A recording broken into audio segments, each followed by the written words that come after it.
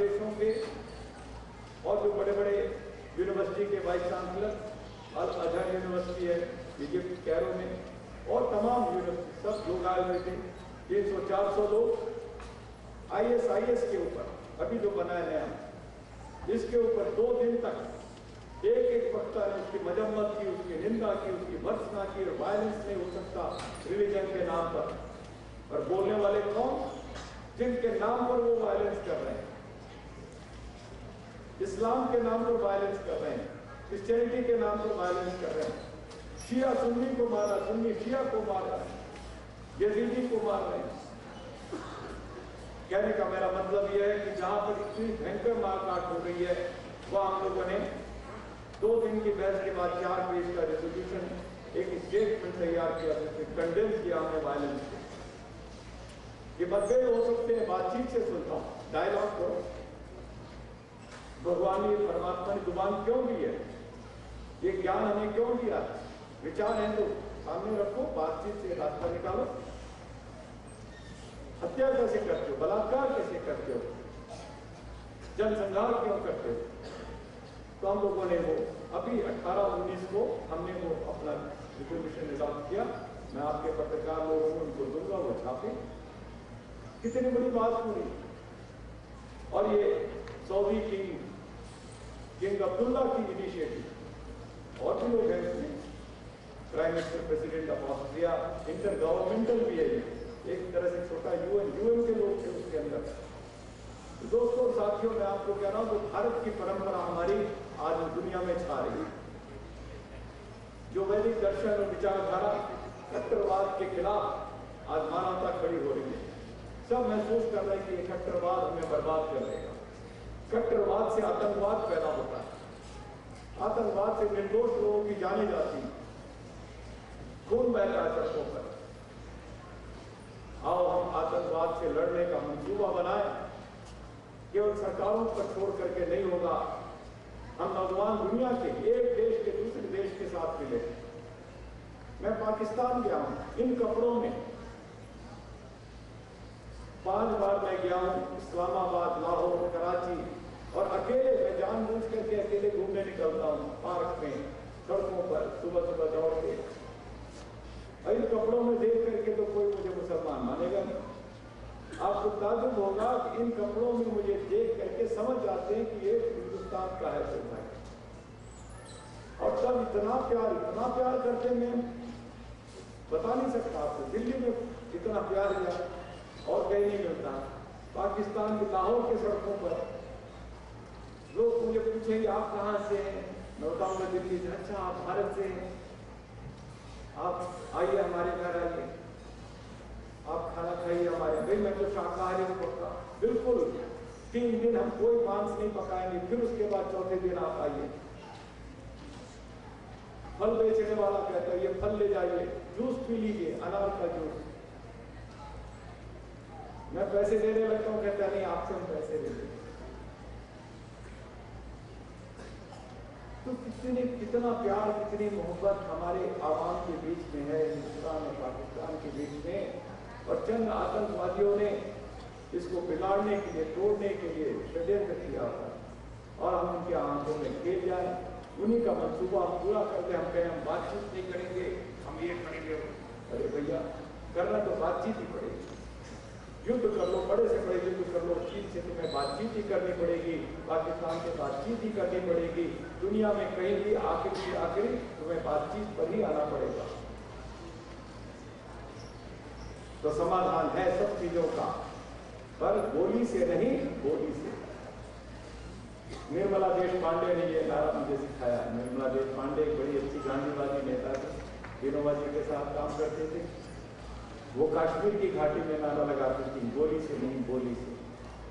और ये नारा लेकर के मैं छत्तीसगढ़ के नक्सलवादी क्षेत्र में गया।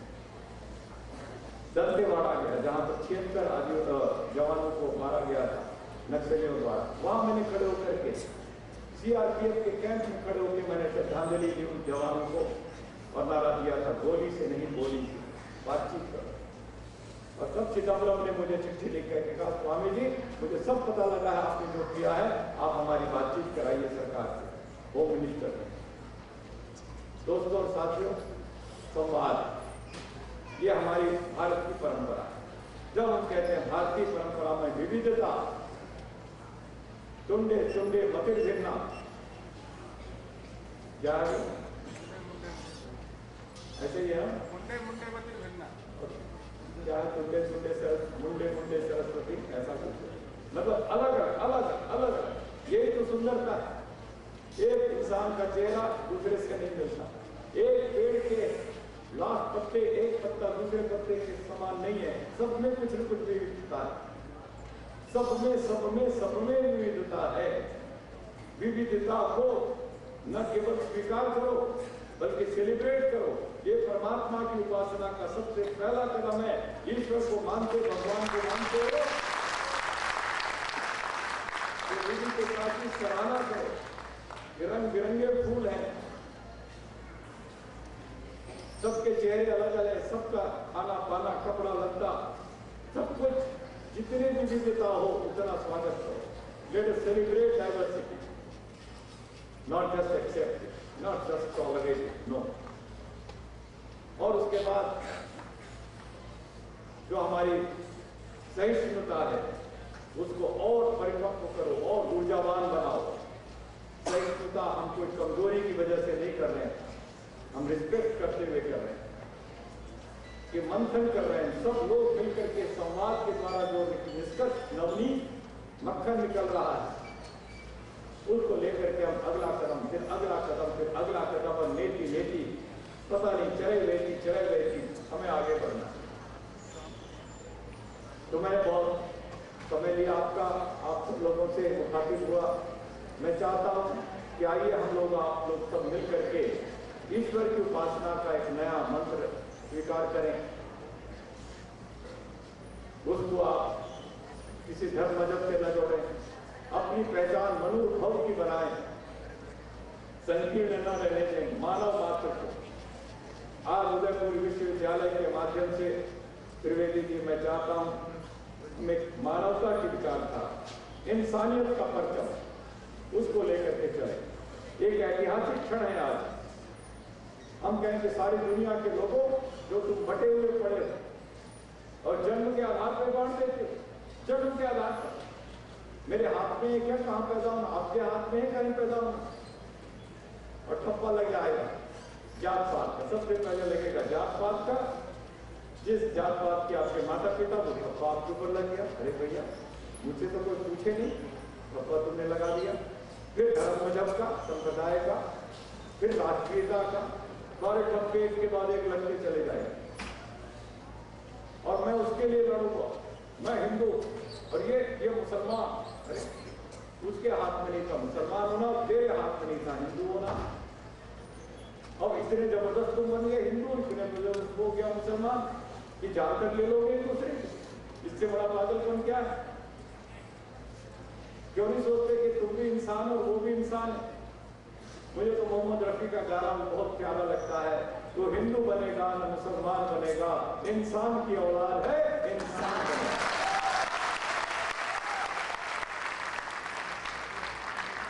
तो हमें इंसानियत का परचम ये झंडा, ये मशाल लेके है। कोशिश करनी है, इसी ज़िंदगी में, इसी जवानी में हम संकीर्णताओं की दीवारों को तोड़ेंगे। छोटी सोच वालों को कहेंगे, आओ बदलो दोस्तों क्यों इंतज़ार कर रहे हो? अगली ज़िंदगी कभी मिलेगी पता नहीं क्या होगा। इसी ज़िंदगी, इसी जवानी में आओ, हम एक नई बयार बहाएँ। इंटरनेट वर्ल्ड वाइड वेब का जमाना वर्ल्ड वाइड वेब आओ सारी दुनिया को आगोश में लोग। सबके लिए प्यार, सबके लिए मोहब्बत, सबके लिए इज़्ज़त। कमी क्या? इंटरनेट से आप कहाँ से कहाँ पहुँच जाते हैं? सोशल मीडिया से आप कहाँ से कहाँ पहुँच जाते हैं? सीमाएँ टूट रही हैं। साइंस टेक्नोलॉजी आपकी मदद करना चाहता, आप सुनते जा रहे मैसेज आपके छोटे छोटे होते जा रहे एक दूसरे के प्रति गंदी गाली और ये सब हिंसा की बातें करते ये क्या है? साइंस ने तो मौका दिया पहली बार। विश्व मानव बनने का, विश्व मानव नागरिक बनने का। आप ट्रेवल करते हैं, कहीं से कहाँ पहुँच जाते हैं?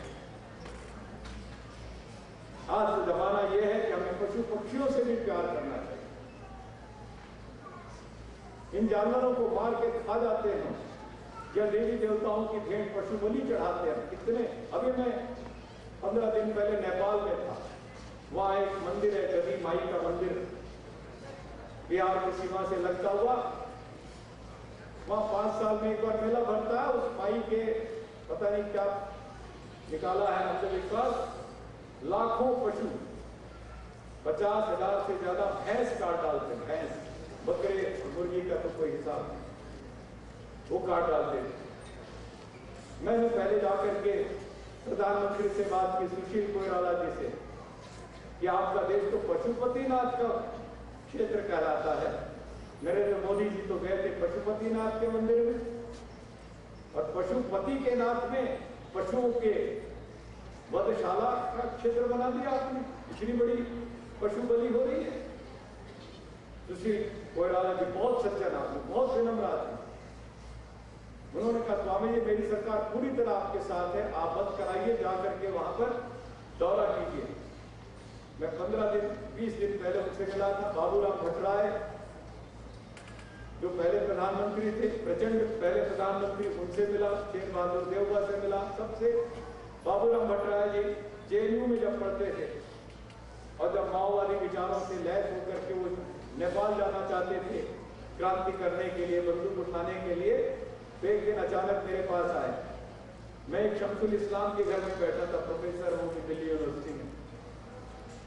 तो कहने लगे, अचानक बाबूराम जी आए उसके साथ एक लड़की थी, इस्लाम। कहले स्वामी जी, आप तो आर्य समाजी हम रहा बोले, एक छोटा सा काम कर दीजिए। हम नेपाल जा रहे हैं क्रांति के लिए, आप हमारी शादी करवा दीजिए करे इतनी जल्दी में कैसे चलो? कहीं आर्य समाज मंदिर में बात करेंगे, कोई शास्त्री जी, पुरोहित जी। एमपी को, प्रकाश को बंद कराओ। उसका असर हुआ, मैं गया अभी मेनका गांधी जी के, जो दूसरी है उनके गौरी जी। वो भी थी हमारे साथ, हमने 24 घंटे अनशन किया। उस मंदिर के प्रांगण में जहाँ पर पशु बलि होती है। और उसका असर हुआ कि मुश्किल से 3500 कहा तो पचास हज़ार पैसे कटती थी, वह मुश्किल से इस बार 3500 कटी। हमारे लिए शर्म की बात है 3500 भी क्यों कटी? अगली बार के लिए हमने फैसला कर लिया, एक भी नहीं कटेगी। एक भी नहीं कटेगी, कोई पशु किसी हिमाचल प्रदेश में लड़ाई लड़ करके अभी पूरा हाईकोर्ट का भी आदेश आया, बंद कर दिया गया। उत्तराखंड में पूरा एक एक मंदिर में पशु बलि, सारा बंद हो गया। पशु बलि बंद हो, मृतक श्राद्ध बंद हो, अंधविश्वास बंद हो। एक वैदिक पूजा जिसको कहते हैं, मानव मात्र को जगाना है, अंदर की आध्यात्मिक ऊर्जा को जगाना है। और इस प्रकार से एक नया विश्व समाज बनाना है। अंतर जाति विवाहों को बढ़ावा देना है। क्या ज़रूरत है कि अपने जात में ही लड़का ढूंढोगे दहेज देना पड़े और बीमारी? अच्छे नौजवान, लड़के, लड़कियाँ, और यूनिवर्सिटी तो इसके लिए बनाई है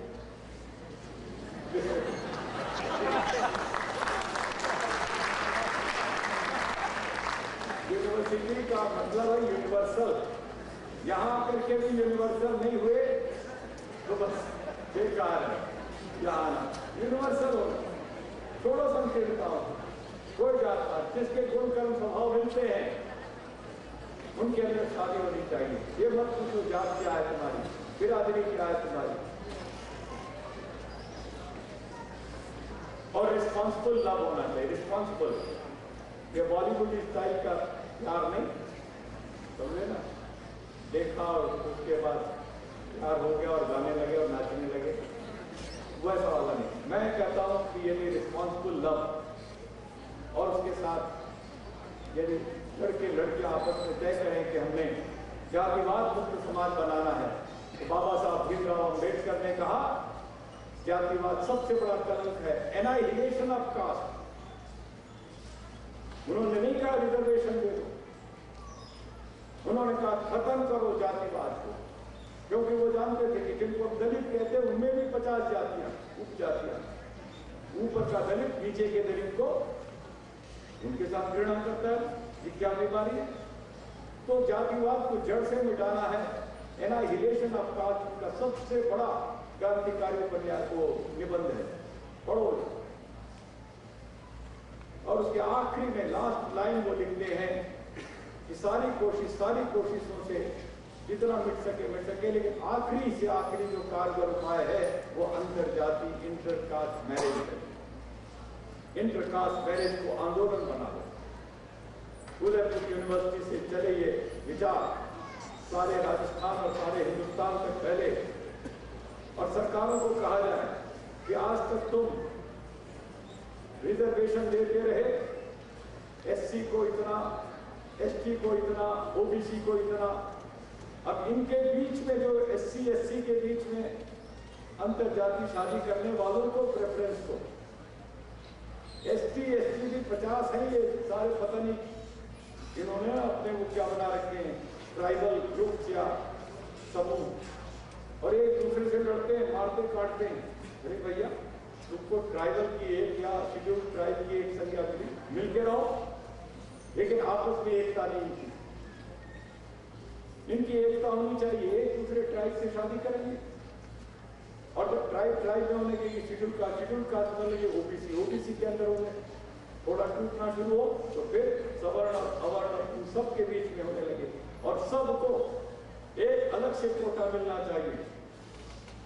एक अलग से पाँच से दस परसेंट का कोटा रिजर्वेशन का इंटरकास्ट मैरिज करने वालों के लिए हो जाना चाहिए।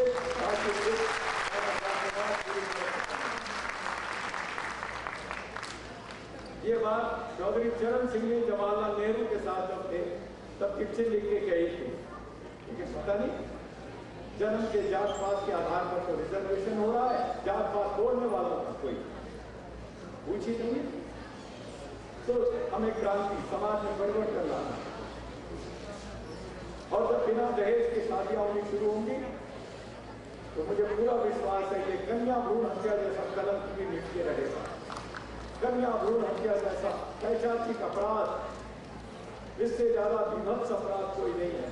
एक बेटी को माँ के पेट में मारा केवल इसलिए कि वो बेटा ना करके बेटी है। तो इसको हमें जड़ से खत्म करना।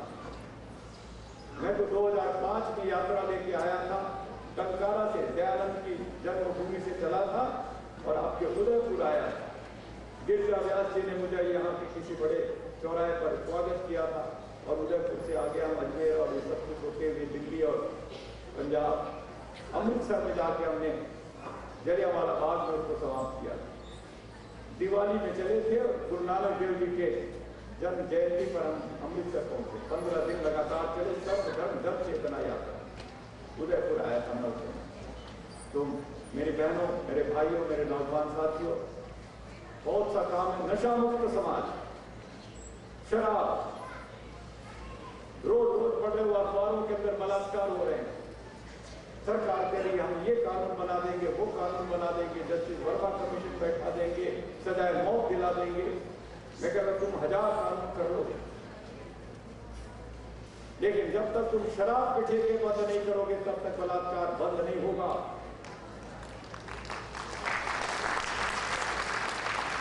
ये हमारी सरकार जो कहती है, बलात्कार नारी को सुरक्षा दिलाएँगे। कैसे दिलाओगे पीने का पानी नहीं है।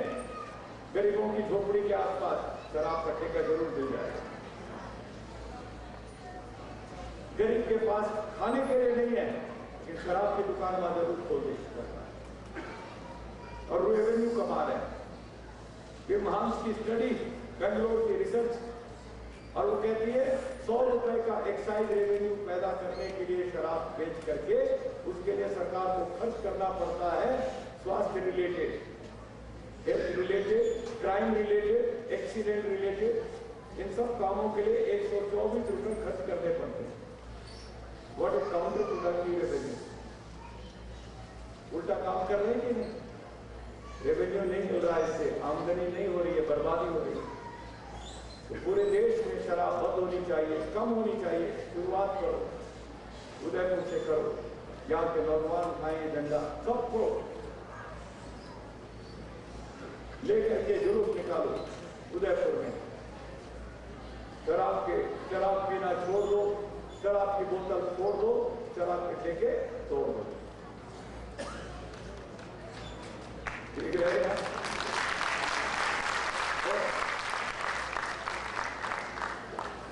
जब तोड़ने लगो फोड़ने लगो तो भी बेचने वाला जो दुकानदार हो ना सेल्समैन उसको कह रहा कि बाहर हो जाओ तेरे को हम कुछ नुकसान नहीं पहुंचाएँगे उसको मारना पीटना नहीं मेरा कहने का मतलब है, गुस्सा तो पैदा करो, ये शराब तो दुश्मन है।